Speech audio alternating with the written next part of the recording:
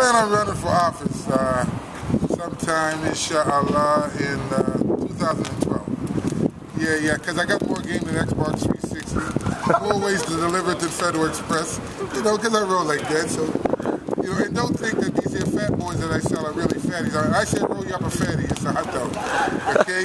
The kind of way you can still get your study on, you know what I mean? Yeah. So I got to get some work done. Yeah.